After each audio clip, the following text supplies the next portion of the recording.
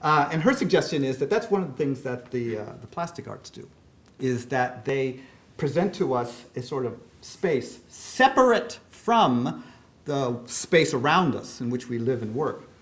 And in that space, objects and forms and shapes and textures and colors are being put together in such a way as to give expression to, again, this concept that she calls uh, an expressive form.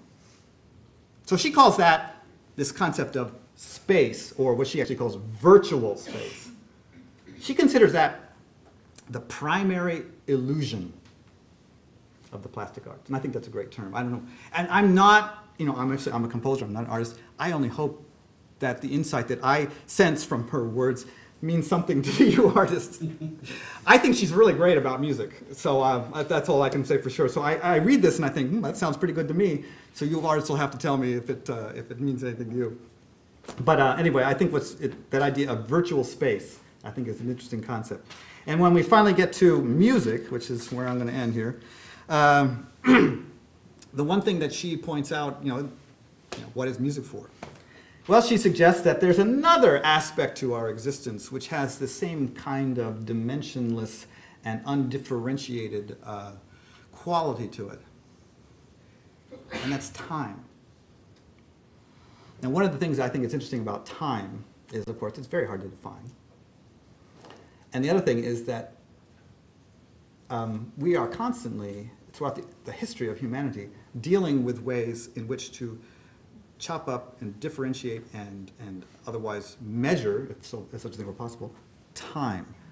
You know, one of the things that always amused me about reading about ancient history was the idea of where the seven-day week came from. And people read, for instance, the uh, famous uh, opening chapters of Genesis and the, the establishment of the seven-day week.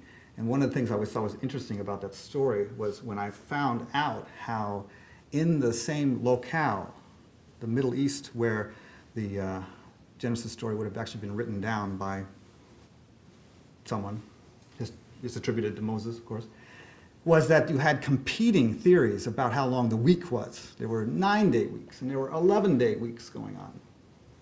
And in the 20th century, the Soviet Union actually tried to establish a five-day week. So one of the repercussions, I think, about the Genesis story seems to be the idea of the seven-day week. But my point is, besides the uh, theological implications of that, is that the, uh, the idea is that we're always trying to measure time because it has no measure in and of itself. So we as humans impose dimensions onto it because, I don't know, I think we feel kind of freaked out when we don't have those kinds of dimensions. And I think space is the same way. So her suggestion is, one of the things about music is that it creates this kind of, she calls it audible time. And the idea is that when you go from the beginning of a period of time to the end of a period of time, we feel things during that duration. We, our lives are she suggests, filled with different senses of, you could call them tension and relaxation, you can call them, can call them anxiety or pleasure or whatever you want to call them, but we feel things all the time.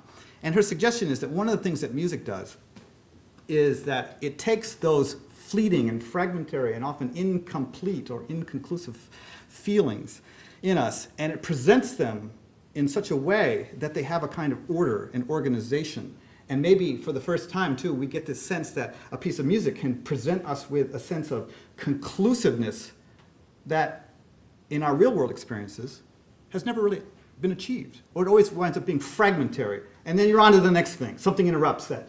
Whereas music is this chance to present time in such a way that the fleeting feelings of tension and resolution and uh, excitation and relaxation, that these things actually have some kind of coherent and maybe even ideal shape, a shape that is only momentarily suggested in our actual lives, but ideally represented, maybe even such a, in a pleasurable way in, uh, in music.